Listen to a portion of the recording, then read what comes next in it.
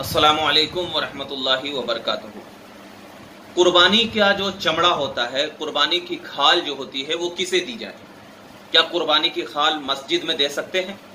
اس حوالے سے سب سے پہلے ایک بات ذہن میں رکھیں کہ قربانی کی کھال یا قربانی کی کھال کو بیچ کر اس کی قیمت مسجد میں دینا بالکل جائز ہے۔ یعنی قربانی کی کھال بھی مسجد میں دے سکتے ہیں یا قربانی کی خال کو بیچ کر کے اس کی قیمت بھی کیا ہے مسجد میں آپ دے سکتے ہیں۔ جیسا کہ بہار شریعت میں اس بات کا ذکر کیا گیا ہے قربانی کے حوالے سے، قربانی کے کھال کے حوالے سے یہ ذکر کیا گیا ہے کہ قربانی کا جو کھال ہے یعنی قربانی کا جو چمڑا ہے، اس کا صدقہ کرنا جو ہے یہ واجب نہیں۔ اس کا صدقہ کرنا جو ہے یہ واجب نہیں ہے، بلکہ کیا ہے، جو جو قربانی کر رہا ہے تو وہ خود بھی اپنے استعمال میں اس کھال کو لا سکتا ہے۔ اس چمڑے کو کیا کرتا ہے؟ لا سکتا ہے۔ مثلا یہ ہے کہ اب اس کھال کی وہ جانماز بنا سکتا ہے، یا کیا ہے، جلد بنا سکتا ہے، یا چلنی بنا سکتا ہے، یا کوئی اور دوسرا سامان جو بستر بنا سکتا ہے، جو اس کے لیے استعمال ہو، یہ کیا ہے؟ اپنے لیے بھی اس کا استعمال کر سکتا ہے۔ ہاں اس کا صدقہ کرنا یہ واجب نہیں ہے، بلکہ اس کا صدقہ کرنا کیا ہے؟ مستحب ہے۔ بات سمجھ میں آئی؟ تو جب آپ یہ سب کر سکتے ہیں یا آپ اگر اس کو یا اسے کسی باقی رہنے والی چیز کے ساتھ بدل سکتا ہے؟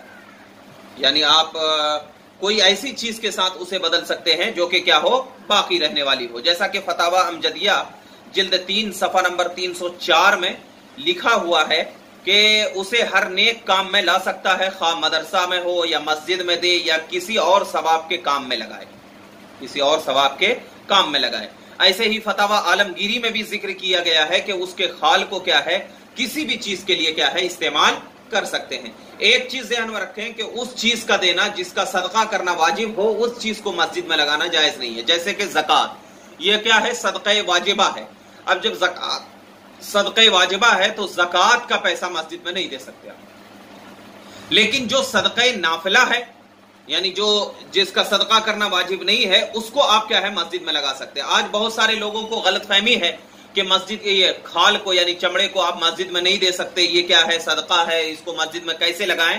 تو یہ بالکل سراسر کیا ہے غلط فہمی ہے اور مسئلے سے ناواقفی ہے۔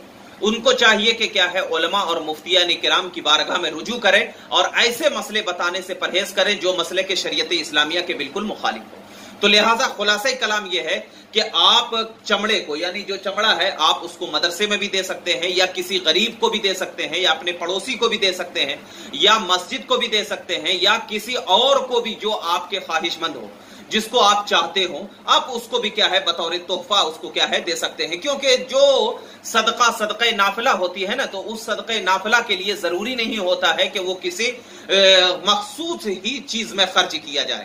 کیونکہ جو زکوٰۃ کے لیے واجب ہے زکوٰۃ کے لیے فقیر وغیرہ ضروری ہے، فقیر مسکین وغیرہ ضروری ہے، ابن سبیل ضروری ہے، صدقہ نافلہ کے لیے یہ ضروری نہیں ہوتا ہے۔ تو لہٰذا صدقہ نافلہ کے لیے ضروری نہیں ہوتا ہے، تو آپ اس کو مسجد میں بھی لگا لیں۔